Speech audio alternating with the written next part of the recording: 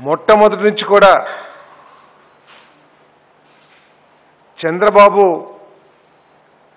రైతు వ్యతిరేకిగా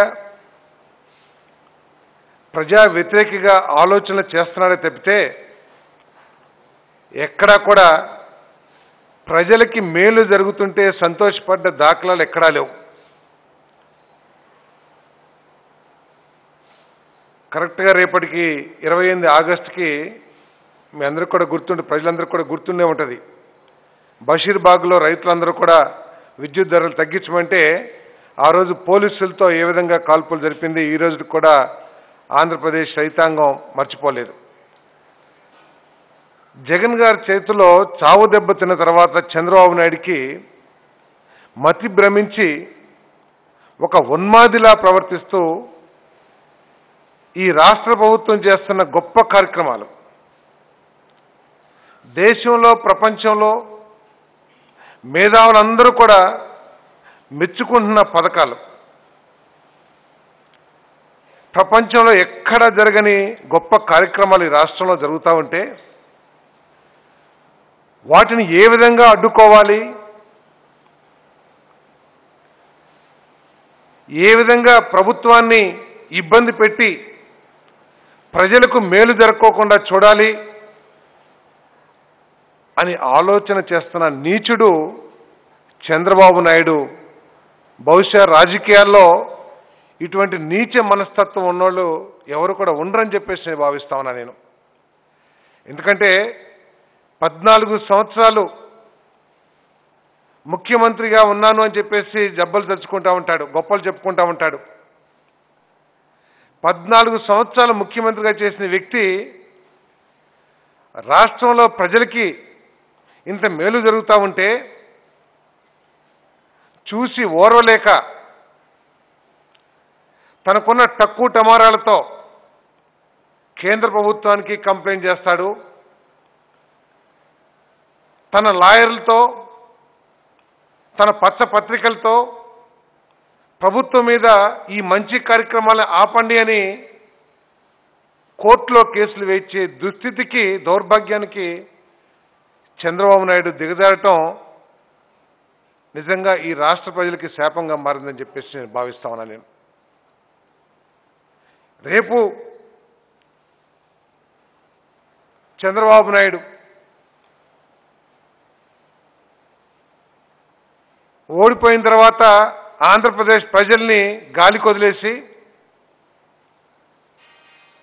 పారిపోయి హైదరాబాద్లో దాక్కుంటున్నాడు. అధికారం ఉన్నప్పుడేమో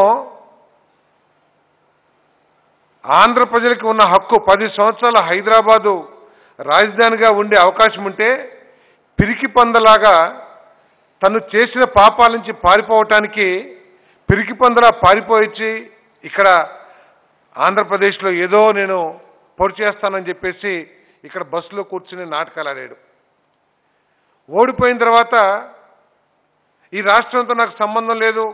ఈ రాష్ట్ర ప్రజలతో నాకు సంబంధం లేదని చెప్పేసి అక్కడికి పారిపోయి అక్కడ దాక్కుని వీడియో కాన్ఫరెన్స్లో జూమ్ కాన్ఫరెన్స్లో మాట్లాడుతూ కాలం గడుపుతా ఉన్నాడు.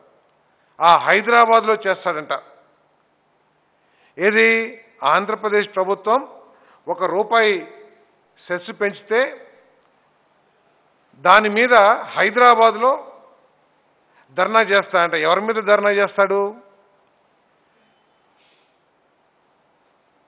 తాను చేసిన రెండున్నర లక్షల కోట్ల అప్పు మూలంగా రెండున్నర లక్షల కోట్లు అప్పు చేసి దాంట్లో కనీసం పది శాతం కూడా పది పైసల వంతు కూడా ప్రజలకి చేరుకోకుండా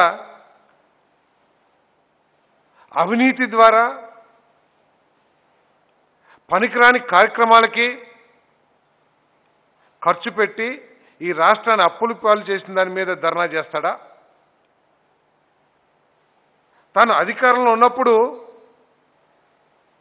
డీజిల్ మీద ఎంత ధర డీజిల్ పెట్రోల్ మీద ఎంత ధరలు పెరిగినాయో ఎప్పుడైనా ఆలోచించాడా? తన అధికారంలో ఉన్నప్పుడు దాదాపు ఇరవై ఐదు నుంచి ముప్పై రూపాయల వరకు ధరలు పెరిగినప్పుడు ఈ మహానుభావుడు కేంద్రంలో భాగస్వామిగా ఉండి కనీసం ఎప్పుడూ కూడా కేంద్ర ప్రభుత్వం మీద ఒత్తిడి తీసుకురావడానికి కానీ లేదా తగ్గించమని చెప్పేసి తన మంత్రుల ద్వారా ప్రయత్నం చేయటం కానీ ఎప్పుడన్నా చేశాడా అని చెప్పేసి అడుగుతా ఉన్నా నేను. రేపు ఎవరి మీద ధర్నా చేయబోతా ఉన్నావు? ఆంధ్రప్రదేశ్ ప్రభుత్వం మీద లేకపోతే తెలంగాణ ప్రభుత్వం మీద లేదా కేంద్ర ప్రభుత్వం మీద అని చెప్పేసి నేను ప్రశ్నిస్తా ఉన్నా నేను. నీకు నిజంగా దమ్ముంటే ఇంతకుముందు పాత నల్ల చొక్కాలు ఉన్నాయి. అప్పుడప్పుడు నల్ల చొక్కాలు వేసుకుని ధర్నాలు చేసేవాళ్ళు. ఇది నిరసన దీక్ష అని చెప్పేసి కేంద్ర ప్రభుత్వం మీద దొంగ దీక్షలు చేశారు. ఆ చొక్కాలన్నీ దులిపి దుమ్ము దులిపి దమ్ముంటే ఢిల్లీ వీధుల్లో కేంద్ర ప్రభుత్వం మీద చేయమని చెప్పేసి అడుగుతా ఉన్నా నేను. వెళ్ళి ఢిల్లీలో మోడీ ప్రభుత్వం మీద ధరలు తగ్గించమని చెప్పేసి నీకు ధైర్యం ఉంటే అక్కడ మీరు చేయాలి తప్పితే ఇక్కడ కాదని చెప్పేసి మనం చేస్తాను నేను. ఈరోజు ఒక రూపాయి ఏదో పెంచుతా పెంచుతున్నందుకో ధర్నా చేస్తా ఉన్నాడు. పద్నాలుగు సంవత్సరాలు ముఖ్యమంత్రిగా చేసిన చంద్రబాబు ఒక్క పథకం ఒక్కటంటే జగన్మోహన్ రెడ్డి గారు అమలు చేస్తున్న పథకాల్లో అమ్మఒడి లాంటిది కానీ ఆసరా కానీ వైఎస్ఆర్ చేయూత కానివ్వండి విద్యా దీవెన కానివ్వండి విద్యా కానుక కానివ్వండి ఇటువంటి కార్యక్రమాలు ఏ ఒక్కటైనా సరే తను చేశాడా అని చెప్పేసి అడుగుతా ఉన్నా నేను. రెండున్నర లక్షల కోట్లు అప్పు చేసిన చంద్రబాబు నాయుడు ప్రజలకి నేరుగా మేలు జరిగే ఒక్క కార్యక్రమైనా సరే తన ఐదు సంవత్సరాల పరిపాలనలో చేశాడని చెప్పేసి అడుగుతా ఉన్నా నేను.